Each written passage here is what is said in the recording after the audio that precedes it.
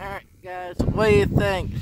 This is black painted on the grill. My Dodge 2003 Dodge Dakota.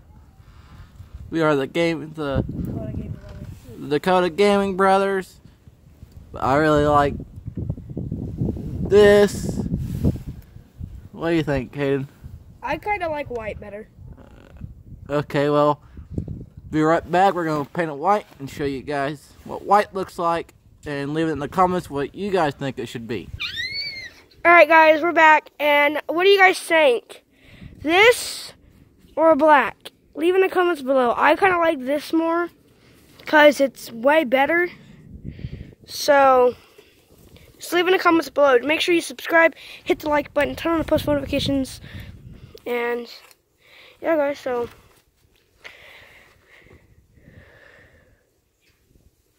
Alright, thank you guys so much for watching. Make sure you hit the like button, turn on the post notification, and subscribe. Bye.